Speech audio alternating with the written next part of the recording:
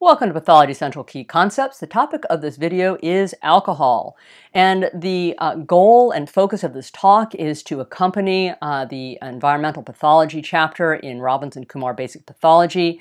And so what I'll be providing here is a background for the pathophysiology of the effects of alcohol so that you will understand this as you see this again and again as you work your way through the different organ systems.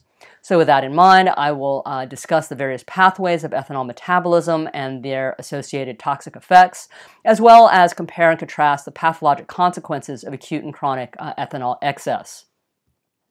Let's begin by looking at the scope of the problem. Uh, alcohol in America. I will be using the terms uh, alcohol and ethanol interchangeably.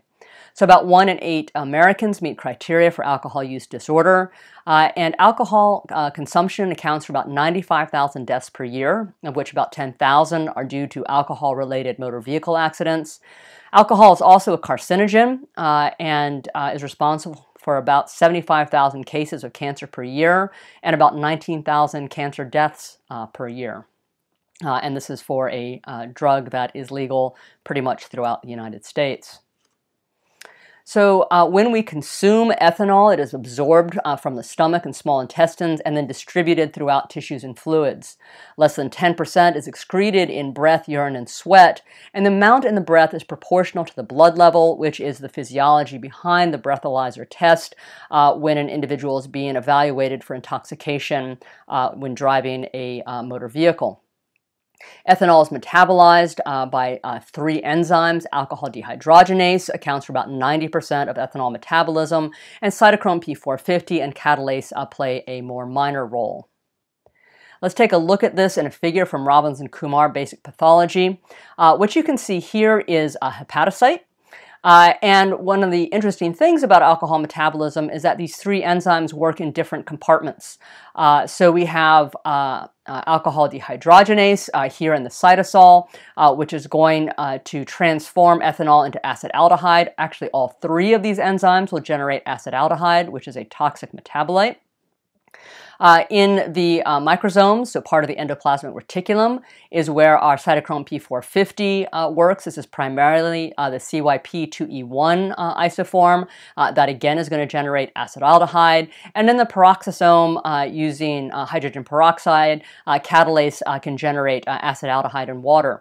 And once this acetaldehyde is generated, it then moves into the mitochondria, where aldehyde dehydrogenase is going to further metabolize this to the uh, non-toxic uh, substance acetic acid. So there are a number of variables uh, in ethanol metabolism. Uh, as far as the pathophysiology, when we think about ethanol metabolism, we know that sustained use will increase rate of metabolism. And we also have to be aware that ethanol uh, use induces cytochrome P450, especially uh, this isoform, which is so involved in alcohol metabolism. Now, I want to take just a moment uh, to address uh, uh, this uh, sentence, ethanol induces cytochrome P450, because I found that sentence in multiple uh, references, but no one really explained how it induces cytochrome P450. So I looked a little bit more deeply with one of my colleagues at Duke, and we found that uh, at low alcohol concentrations, we get increased uh, cytochrome P450 uh, enzyme activity and increased protein stability. Uh, whereas at very high concentrations of ethanol, we're going to uh, have an effect on the production of this enzyme, so increased mRNA and protein expression. Uh, so one of the uh, issues with uh, ethanol use is that when we uh, are inducing our cytochrome P450 uh, CYP2E1 isoform, this isoform uh, is involved not just in the metabolism of alcohol, but a variety of other substrates. so drugs such as acetaminophen and cocaine, anesthetics, carcinogens, and industrial solvents. so if you have high levels of ethanol, they can compete with these substrates which can delay their catabolism and potentiate uh, their effects. Uh, and I think uh, we most commonly uh, think about this in the context of acetaminophen. Now, there are multiple toxic effects of ethanol metabolism. Uh, there are three that I'm going to address here. So when we uh, uh, oxidize uh, ethanol, this is going to result in de decreased concentration of nicotinamide adenine dinucleotide and increased NADH, which is our reduced form of NAD+. Uh, we can also get accumulation of acetaldehyde in particular circumstances, and acetaldehyde is toxic. And we can get direct hepatocyte injury uh, through the production of reactive oxygen species and through endotoxin release from gram-negative bacteria uh, in the uh, gastrointestinal flora. So let's address the first of these. What happens when we decrease our NAD plus and increase our NADH? So we can see here, as I mentioned, uh, alcohol dehydrogenase is the primary uh, workhorse here, and we are going to be burning through quite a lot of NAD plus and generating a fair amount of NADH. We're also going to uh, consume NAD plus uh, in our mitochondria as we generate our acetic acid. Uh, now, the challenge with this is that NAD plus is necessary for hepatic fatty acid oxidation. So if we don't have NAD plus, we cannot uh, oxidize our hepatic fatty acids. This leads to steatosis. Uh, one other issue is that when we have an increase in our ratio of NADH to NAD+, this can lead to lactic acidosis, uh, which can cause complications of its own. Let's focus first here on steatosis. Uh, this is uh, a beautiful image of a liver biopsy from an individual uh, who has been consuming uh, excess uh, ethanol. You can see here we have large uh, droplets of fat, but we also have some microvesicular change here with uh, small droplets of fat throughout these hepatocytes. Now we can also get, uh, in some circumstances, accumulation of acetaldehyde. So as I mentioned, all of these enzymes, so cytochrome P450, alcohol dehydrogenase, and catalase are all going to generate uh, acetaldehyde. And there is an inherited deficiency of uh, aldehyde dehydrogenase uh, in particularly some East Asian populations. And as we see so commonly, when we have an enzyme that is impaired, we're going to get a backup of our upstream substrate. So what happens here is we're going to get accumulation of acetaldehyde, which as I mentioned is a toxic and reactive metabolite. This can lead to flushing, tachycardia, and hyperventilation. Now, acetaldehyde has been uh, implicated uh, in a number of uh, malignancies, and we do know that uh, studies have shown an increased risk of esophageal carcinoma in individuals who have this inherited ALDH uh, deficiency. And then finally, uh, looking at direct hepatocyte injury. So ethanol metabolism uh, by CYP2E1 uh, is uh, going to result in the production of reactive oxygen species. Uh, these reactive oxygen species, as you'll recall from the chapter on cell injury in Robbins and Kumar Basic Pathology, can lead to lipid peroxidation of hepatocyte membranes, which can lead to direct hepatocyte injury. Uh, and this is covered uh, in greater detail uh, in the liver chapter of Robbins and Kumar Basic Pathology and in most curricula in the context of pathology of the liver. In addition, we can get the release of endotoxins and lipopolysaccharides, which are lipopolysaccharides, uh, from gram-negative bacteria, bacteria in the intestinal flora. Uh, and with uh, this elaboration uh, of uh, or release of endotoxin, we're going to get our macrophages and Kupffer cells uh, releasing tumor necrosis factor and cytokines, and these can cause direct hepatocyte injury as well. So when we think about uh, alcohol injury, uh, it's convenient and useful to think about it in uh, the terms of acute alcohol injury and chronic alcohol injury. So I'm going to begin first by discussing acute alcohol injury. Uh, there are three systems we want to think about. The first is the central nervous system. So alcohol acts as a depressant uh, on subcortical structures, which will then modulate cerebral cortical activity, leading to stimulation and disordered uh, cortical, motor, and intellectual behavior. Uh, as uh, the consumption of alcohol increases, uh, we can at a certain point get depressed cortical neurons uh, and lower medullary centers, which include uh, the respiratory center, which can lead to respiratory depression and respiratory arrest. As I've already mentioned, in the liver we can see uh, steatosis, and the uh, acute uh, uh effect of alcohol in the stomach can lead to acute gastritis uh, and ulceration due to this irritation. Now, when we think about chronic alcohol uh, injury, there are a variety of uh, tissues and organs to think about. Uh, and so I'm going to work through each of these, showing you some examples of some. So with uh, chronic alcohol use, uh, we will move not only from steatosis, which is reversible, uh, but with continued injury, we can uh, go on to alcohol-related hepatitis, uh, and this can progress to cirrhosis. Uh, when we have cirrhosis, this increases the risk of hepatocellular carcinoma. Another uh, organ system that can be affected by chronic alcohol injury is the gastrointestinal tract. So, uh, as I've already mentioned, alcohol is an irritant. It can lead to uh, gastritis and gastric ulcer. Gastritis can result in uh, significant bleeding, and you can even get perforation of a gastric ulcer. Uh, and then esophageal varices we see in the context of cirrhosis because blood flow uh, will not be able to progress normally through the liver. And so we'll find uh, collateral uh, ways to uh, flow. And one of the areas where collaterals will develop will be in the esophagus. So we'll get dilation of these esophageal veins, and these can tear, leading to massive bleeding. Uh, so massive bleeding is one of the consequences of chronic alcohol injury.